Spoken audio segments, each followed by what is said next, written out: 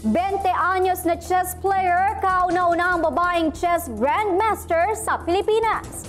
May babaeng chess grandmaster na ang Pilipinas. Ito ay sa katauhan ng 20 anyos na si Janelle May Freyna.